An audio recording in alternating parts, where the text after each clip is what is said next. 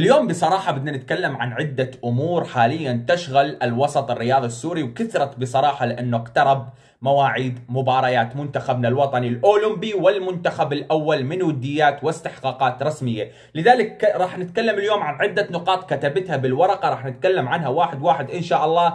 الأول سبب غياب عمر خريبين الثاني أخبار المنتخب أرضنا الافتراضية للمنتخب الأول وليش في غيابات كثيرة بقائمة المنتخب الأول وموعد الانطلاق إلى الصين للمباراتين الوديتين أمام ماليزيا والصين. وأيضا بدنا نتكلم عن أيمن الحكيم مدربا للفتوة. بدي بدي أعطي رأيي بهذا الأمر لأنه في ناس طلبوا. وأيضا راح نتكلم عن موعد مباراة عمر السومة القادمة واللي بصراحة راح تكون مباراة قوية. وأيضا بدنا نتكلم عن اللاعبين المحترفين القادمين للأولمبي. وأيضا بدنا نتكلم عن ودية جديدة لمنتخب سوريا في شهر 10 في التوقف الدولي اللي راح يكون شهر 10 السلام عليكم ورحمة الله وبركاته. شلونكم؟ شو أخباركم؟ إن شاء الله تكونون بألف خير وصحة معكم علاوي من قناة علاوي تيوب بقناتي هاي انزل محتوى رياضي سوري. إذا أنت مهتم بهذا المحتوى لا تضغطنا like الفيديو subscribe القناة وخلونا نبلش بالفيديو. اولا سبب غياب عمر خريبين. قبل قليل طلع الكابتن لطفي بريس وتكلم على قناته الرسمية على اليوتيوب. قال إني اتصلت على مصادر من اتحاد الكرة وسألتهم ليش غاب عمر خريبين. قالوا إنه قال لهم عمر خريبين إنه ابنه حاليا مريض. ولازم عمر خريبين يكون إلى جانبه لذلك ما على المنتخب. وأنا برأيي بصراحة إذا كانت القصة فعلا هيك إنسانية مرض ابنه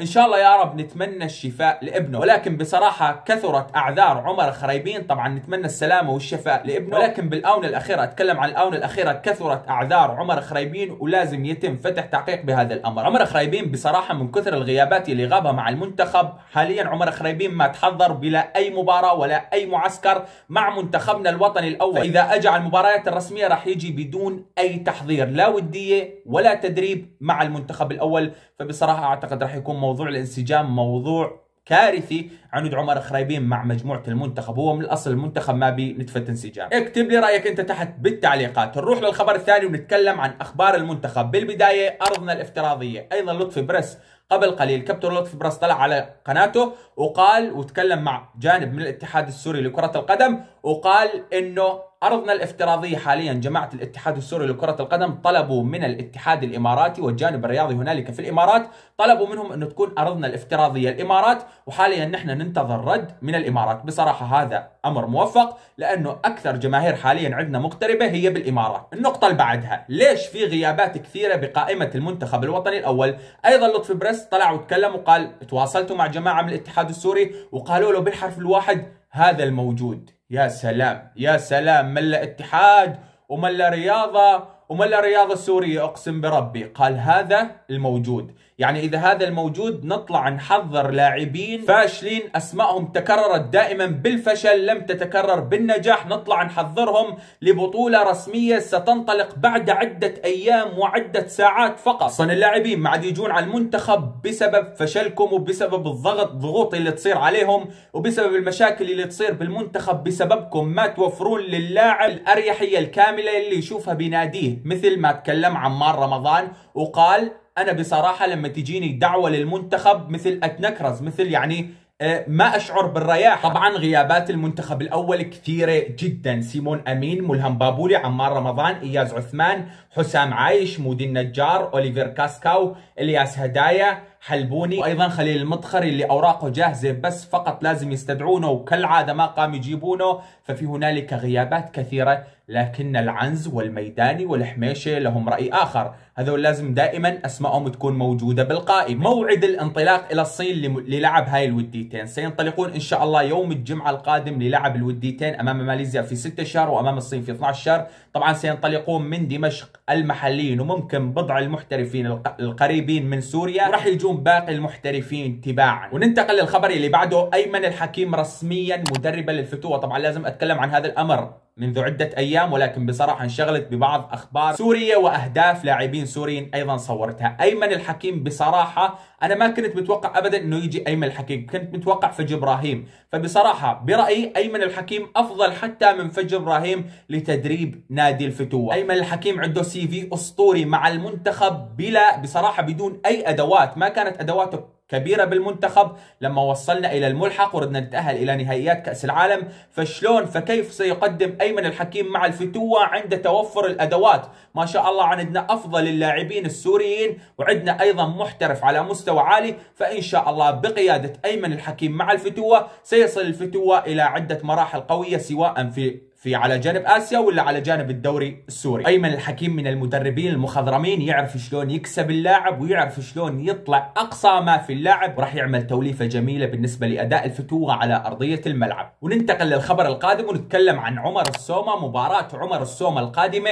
مباراة عمر السومة القادمة ستكون مع بطل الدوري القطري الموسم الماضي واللي هو نادي الدحيل مباراة كبيرة جدا تعتبر أقوى مباراة بالنسبة للنادي العربي في هذا الدوري. إن شاء الله ستنطلق يوم السبت القادم عند الساعة السادسة والربع بتوقيت سوريا وإن شاء الله سيكون انطلاق وتوهج عمر السومة بالأهداف في هذا الموسم من هذه المباراة. بإذن الله عمر السومة لا يظهر الكبير لا يظهر إلا بالمباريات الكبيرة فبإذن الله إن شاء الله يشهد تألق عمر السومة. أما بالنسبة للناس اللي تقول عمر السومة كبير وعمر السومة انتهى هذول دائما يطلعون لما عمر السومة ما يسجل تقريبا مباراتين أو ثلاثة.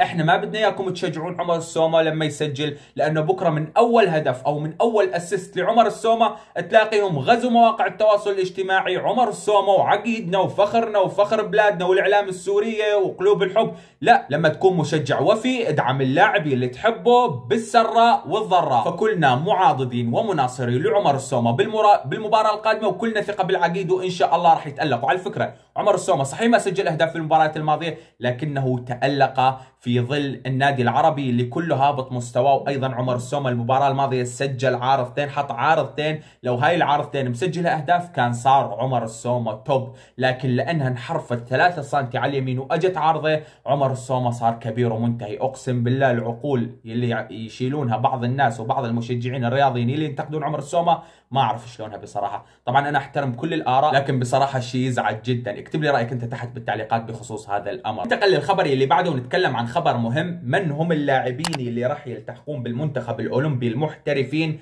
للتصفيات الآسيوية اللي راح تقام في الأردن الشهر التاسع؟ إن شاء الله. اللاعبين المحترفين هم اوليفر كاسكاو وعمار رمضان ومصطفى عبد اللطيف وأنطونيو يعقوب وهوزان عثمان وزياد غنوم وسيلتحق إن شاء الله المحترف في الكويت أحمد الدالي وإن شاء الله سيلحقه محترف نادي الوصل مالك جنعير. أما بالنسبة لبراء قياع فبراء قياع ذهب من معسكر المنتخب ومن الودية اللي لعبناها بالسعودية راح رجع على إسطنبول بعد لما ذكره اللاعب ووصفه بالأسباب الطارئة. علما أن الكادر الفني بقيادة تامر حسن وفراس المعسعس أعجبوا بهذا اللاعب ونووا أنه يجيبونه ويخلون اسمه متواجد بالتصفيات الآسيوية تصفيات كأس آسيا. ننتقل للخبر الأخير. رسميا منتخبنا الوطني الأول يواجه منتخب الكويت في ودية ثانية في الشهر العاشر. ليش؟ لأن راح نلعب مبارياتنا في التصفيات المؤهلة لكأس العالم عام 2026 وكأس آسيا عام 2027 تبدأ مبارياتنا في الشهر 11 يعني نلعب ودية قبل بشهر الودية هاي ضد مين؟ ضد الكويت والمنتخبات اللي راح نلعب معاها بالشهر 11 ضد مين؟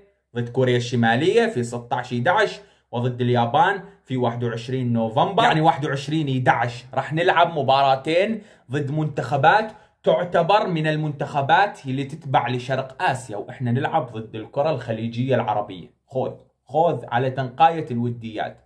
صدقوني ما راح نستفيد من هاي الودية شيء لأنه هذول طريقة لعبهم شكل وهذول طريقة لعبهم شكل. فبصراحة قرارات الاتحاد السوري أغلبها يمكن كلها فاشلة فاشلة فاشلة. بس والله هذا كان فيديو اليوم. السلام عليكم ورحمة الله وبركاته.